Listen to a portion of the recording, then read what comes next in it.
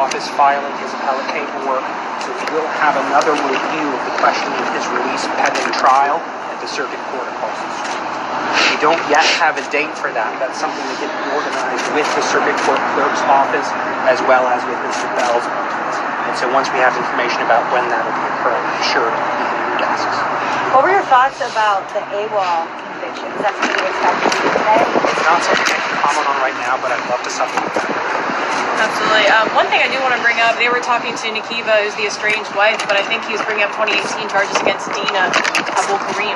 Yeah, it's my understanding that he got a little bit confused about which individual was on the stand, and he had never met her before. It's something that happens occasionally with trial. Can I ask you a question? I met you when you was trying to get into. Hi, good Hi, to see Rhonda. you. How you doing? I'm doing great. I was trying to see with the day me and you was outside. You was trying to speak to your client. Mm-hmm. Did he want an attorney at that time, or did he? My understanding is that there was a request for an attorney and for the ability to remain silent. That said, I just spoke with Mr. Bell this morning. There are recordings of what happened inside the police station for the duration of his stay there. He indicated that he's going to be getting those to me post haste so that we can resolve those questions. Can you let us know what um, Mr. Bell was talking about with the Supreme Court ruling something more, well, a Supreme Court case more like the Tomlin case? Was he trying to make a similarity there as to why uh, Mr. Bigsby couldn't come out? I believe he was trying to make an argument for expanding the considerations of the bond hearing beyond the statute we usually use to consider. So when the judge said that, you know, he took into consideration this whole AWOL situation in the military, and then that would make, you know, him question his ability to appear in court, do you think that was a fair assessment? I understand any judge's concern whenever there is some sort of failure to appear. However,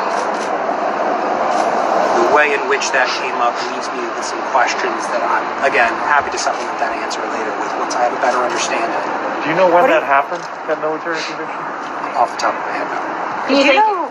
Do you know Corey's mindset right now? I mean, you're one of the only people that are in contact in the past few days. I haven't spoken with him after the bond hearing. I'm certain he's disappointed, although we did speak about the possibility of bond being denied today and what would happen afterwards. So he is aware that his bond hearing has been. Do what you about think? his other kids?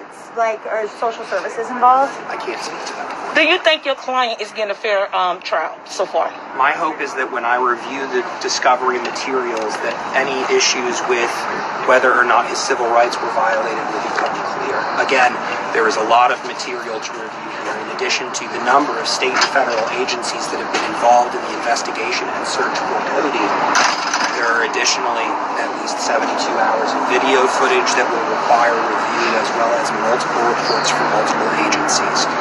So, a very thorough review of those materials will be necessary before we can make any solid calls about what we're going to do. I have one more question for you. Yes. Is he allowed any visitors at this time? I'm sorry, I couldn't hear you. Is he allowed any visitors from his family at this time? I still couldn't. I'm sorry. Is he visitors? allowed any visitors at this time I from family don't, members? I don't believe that the jail will allow him other visitors other than counsel at this moment. That's something I'd have to double check on. Though. Usually it's an issue of someone being on the list of approved visitors, and there are set times of the week and days of the week in which he can receive those specific persons. What will you be doing between now and April 5th? Uh, certainly, I've been, in, again, in discussions with Mr. Bell about how to proceed with of discovery that's going to be coming forward in this case. Uh, most pertinent are these videos. He's just, uh, asserted to me this morning that he's going to be working on getting those to me as soon as possible. I discussed with him some of the concerns I had.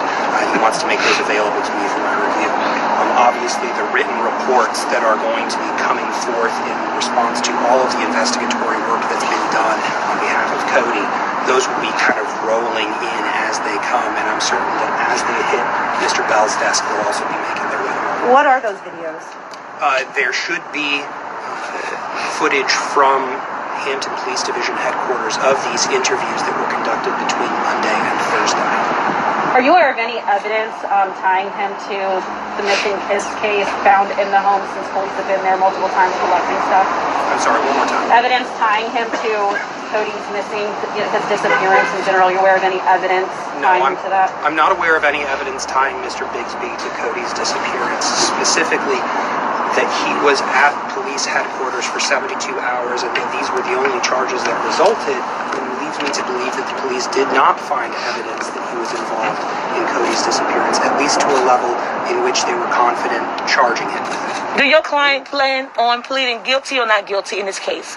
Uh, I can't comment on that right now. Obviously, we are in a position where we don't yet have the discovery materials, and there are several unanswered questions about how these statements were taken. And before I can make any solid uh, comment on how this case will proceed, I obviously need to do my due diligence in making sure that there haven't been any civil rights violations or other issues with how this was conducted. A lot of his family Well, in the courtroom today. Have you had a chance to talk with them, either before or after? I've spoken with a great many of his family members over the last week or so. Will that plea come out in the uh, preliminary hearing? Uh, no. Um, please, please generally are taken at the circuit court level for felonies unless matters are reduced to misdemeanors. In Virginia, we have a bifurcated system of how we do trials. The lower court, the J and DR court that we have here, Juvenile and Domestic Relations Court, as well as the General District Court here that's adjacent to us, are what are known as lower courts in Virginia. They don't have the authority to be able to resolve felony matters preliminary hearing is a hearing that will be occurring here in April that asking the question is there probable cause to support having a trial at the circuit court level? And that's the question that's going to be asked and answered on the 5th. Do you think it's going to be hard for him to say that he's not guilty of this when, according to court documents, he told police that he left these kids home alone? Again, I have questions that need resolved about the way in which those statements were collected. Do we have a next court date? We do, uh, April 5th, I believe it was, yes? Yeah, What do you think Mr. of Anton Bell saying on the record uh, that, that your client's the chief suspect in the homicide of this kid? Um, I believe he's been told that by investigators, uh, and that's the information he has. Is it You fair to say that he lied um, about not being convicted of any crimes on the stand today? I don't believe he lied. I believe that when the question of whether or not you've been asked of a conviction came up, that he wasn't thinking about military convictions. Is that considered a conviction? An AWOL conviction? Is that considered a, I'll be able to supplement that once I look at a statute. On Friday when we talked to you, you kind of made it sound like he wasn't at police headquarters voluntarily, but then you did say in court that he was there voluntarily. So It is the Commonwealth and the police's position that he was there voluntarily for the entire stay of his duration from Monday until he was charged on Thursday. I very much noted that that was the Commonwealth's position because I, again, have not had an opportunity to review these discovery materials. It may very well be that those materials bear out his voluntary presence at police headquarters, but my client is telling me something and it's my duty to investigate on his behalf. So I your did not client, think he was there voluntarily. I can't make any solid calls about that until I've had an opportunity to review the discovery materials. did your client tell you what he think happened to his son? No, um, Mr. Bigsby is very concerned about Cody's whereabouts. Again, he is very thankful for every volunteer who has put forward time and energy trying to assist him in locating his son. He did advise me that he's given everything he knows over to officers so that they can use whatever information he has in order to assist in finding Cody. The witness, Nikita, the estranged wife, was she living in the home with him and the children up until this point? That is not my understanding.